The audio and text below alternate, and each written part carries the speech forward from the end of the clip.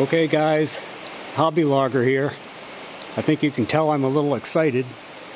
I got pawing around through the uh, cabinets today and years ago I bought a bunch of salvage stuff from a, a gasifier that was uh, actually a, a, kiln for a, a, lumber yard and they had a giant um, gasifier there which provided all the heat for the kiln and in part of their uh, collection of things to keep everything going smoothly they had this little item.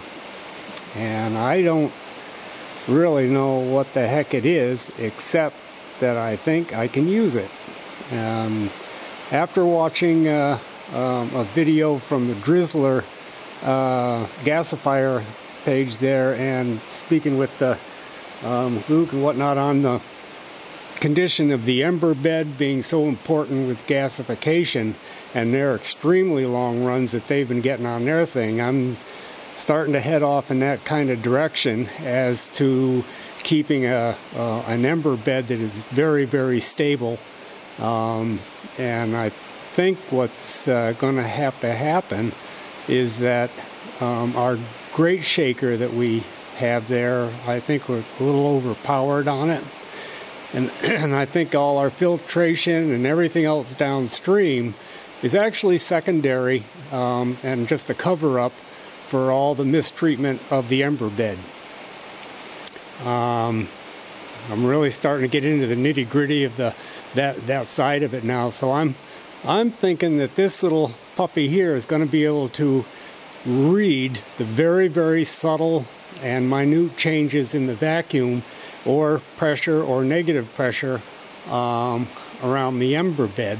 Now, I'm not quite sure where to uh, install this. I'm going to check with uh, um, a friend of mine that just started getting into it a little bit there, Steve, the furnace man. And uh, I'm going to check with him. He's into this kind of calibration stuff. So, um, anyhow, this thing is super, super sensitive. I mean, you just touch it and the needle it bounces around and, and everything. So it's going to have to be a real stable platform.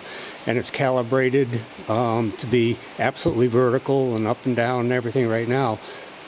But um, I can just just about touch this little thing here and you can see the little pressure differences in the black needle there as I just put my finger over the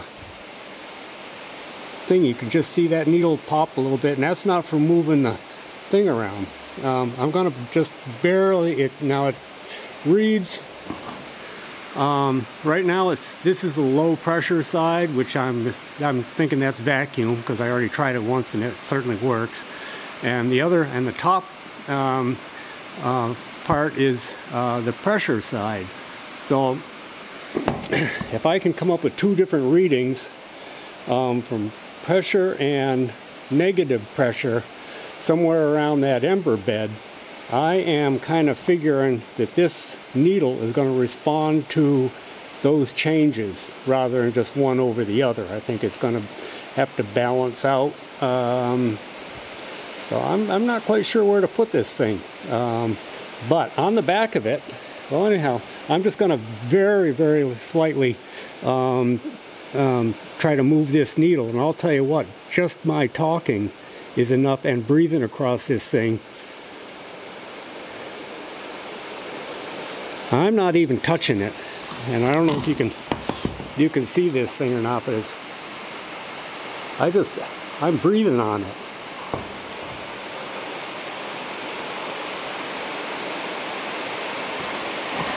I mean, this thing is absolutely so sensitive that it's scary. It's a good thing. I, I might have to wear this all the time just to see if I'm still breathing. So on the back, so it's got these, it, it's an analog system, and on the back, it has all these little uh, things here. When it falls outside of the, uh, the needles and uh, the pressures, I'm thinking that this could be the trigger and the device which would turn on the shaker or the grate or anything if it falls somewhere outside of the range of this thing. Now there is an instruction book that's about the size of the Library of Congress. So I'm going to have to figure out what that is, but you know, I'm thinking this thing is the key. The silver bullet, guys.